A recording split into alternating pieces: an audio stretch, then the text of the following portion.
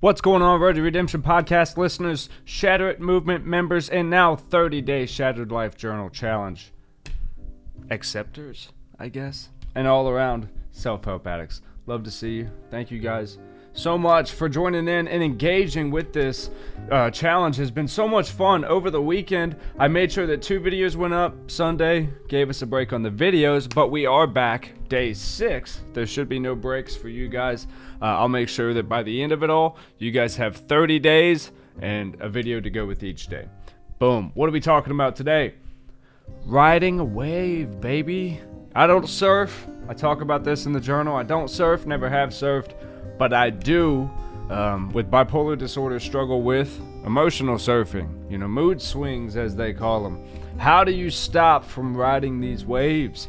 Before you guys get into the journal, I'm going to give you a few quick tips that won't necessarily pertain to any of the challenges or anything like that, but how to settle yourself in an emotional wave when you just can't seem to get out. And this isn't going to be your typical you know, take 10 breaths, clench your fist, like that Arthur meme, and, you know, go on about your day and, you know, turn the other cheek kind of thing. This isn't going to be that kind of advice. This is going to be real time advice that I can give, have given in the past, but uh, is going to give again because I think it's helpful in these times. A lot of people are quarantined right now, a lot of people are working from home in close proximity to each other, and a lot of people are outside of their regular routines. It gets people uncomfortable. It gets people feeling like they're ready to crawl out of their skin, especially people who suffer from things like PTSD or any kind of autism. Routine is so important. Now, what do we do when a routine can't be, you know, it can't be kept? Things are changing. The world is rapidly changing. Hopefully, it's going to go back to normal soon, but you're in a situation. The emotions are up. Something happened. Bang! You're ready to pop off. I just talked about this in an amazing um, Instagram live I did with Coaching with Susie. I'm so grateful for her and the Movement Makers Club that I've joined over there.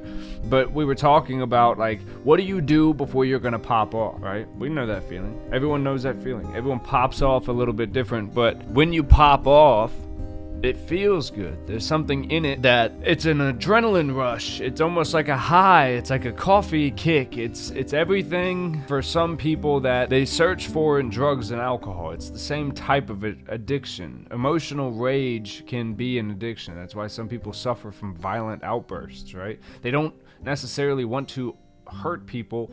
It's that feeling is something that they can't necessarily say no to once they're in it. I've I've gone long enough. How do we get through it, right? I've noticed that directing your physical attention, I guess is what I was trying to actually say. Focusing your physical attention and energy in another direction is very important. So, that's all people are really trying to get you to do when they tell you to breathe or whatnot, or when you're putting your fist through a wall or God forbid, at another person, not inside of a ring. You're trying to get that energy out of you and onto something else. So, what I immediately advise people to do, and don't let anyone make you feel bad for doing this, begin to create physical distance between yourself and the thing causing the issue. That's never a problem, right? If something is causing you some sort of distress, then you need to create distance so you can reassess that situation. If someone is antagonizing you to stay into a compromising or maybe confrontational situation, they are now seen as a threat for some reason. They're not respecting the boundary that you're giving them that's needed to make appropriate decisions. So now, according to any law, stature, whatever, you have the right to become a little more aggressive in that nature. Hey, I'm leaving this situation. I'm walking away from this conversation. I'm leaving what you think is a fight. You can call me whatever you want. That's fine.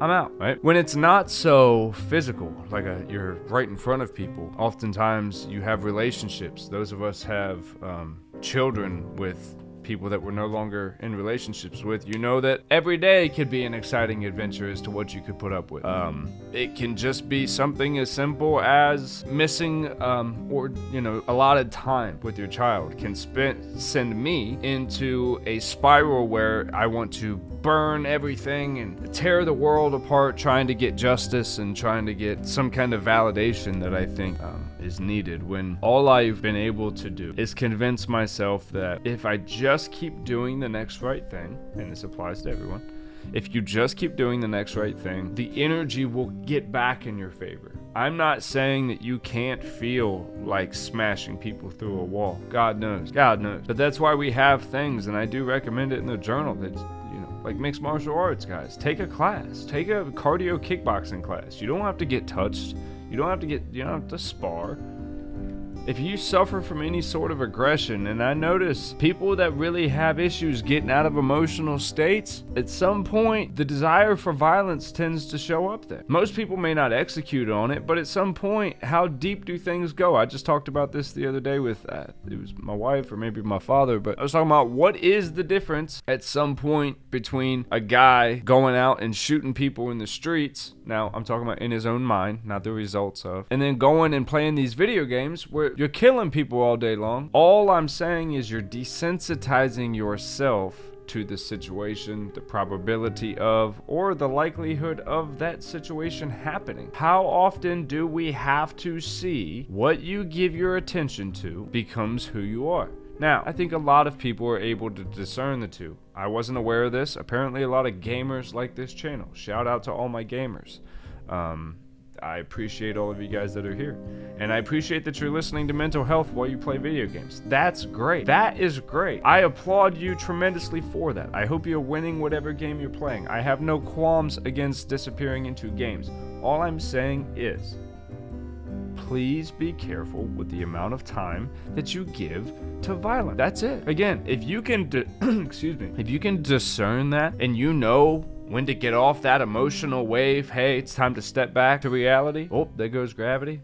If you're able to do that, fine, no issue. But if you're here, we're doing a 30 day mental health challenge, so we're going to talk about clearing out the things that ail us. And if sometimes violence and aggression comes into your mind and you don't know why, and you're like, that's not who I am, well, look at the things you're doing. What waves are you riding? I talk about this all the time on the Road to Redemption podcast. I look at what my attention goes to, like colors, color energy.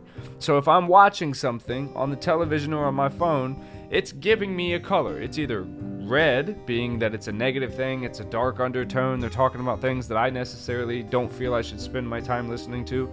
Or it's blue, I'm learning, I'm I'm growing, something's helping me, I'm I'm gaining something from it. Okay, good, because I notice if you pay attention to those things, those same colors come back out later in your words, actions, and thoughts. Most importantly, your thoughts. How you think becomes what you say, what you believe, and who you become. I can't make that any more clear. Guys, I love you so much. Be careful what waves you decide to ride. Do some research. I made this analogy in the book. If I was going to learn how to surf, I would go and I would Ask people, what is the best surfboard?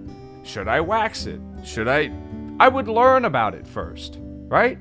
Before you jump into these emotional waves, which emotional decision making is what you're going to end up doing. Before you do that, do research before making the purchase or causing the explosion. Does the town you're about to attack, or the person, or the belief, or the idea that you're about to attack, is it worth attacking? Does it deserve what it's about to get? Good or bad? Good or bad? Do you deserve, does this person, thing, or activity deserve your love and attention right now? Or should you separate, create distance, create a boundary, get off that wave, and maybe go find your own? I love you so much, guys. Road, the number two, redemptionpodcast.com. You can get all the new merch we got up. The 30 Day Shattered Life Journal Challenge pre order is up, guys. It is a digital um, content right now. You'll be able to have it right there on your phones. We are working on getting a physical copy please um, subscribe, like this video, go back and watch all the other series so you guys can get caught up if you're just jumping in on this one. And again, share it with your friends. I'm hearing a lot of people say they were uh, having it recommended to them. So that's awesome. Nothing makes me happier in the world. So thank you guys so much. I love you, and we will see you tomorrow.